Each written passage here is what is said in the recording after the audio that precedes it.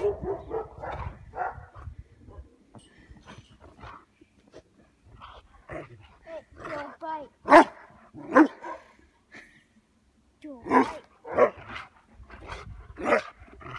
good girl. Don't bite me.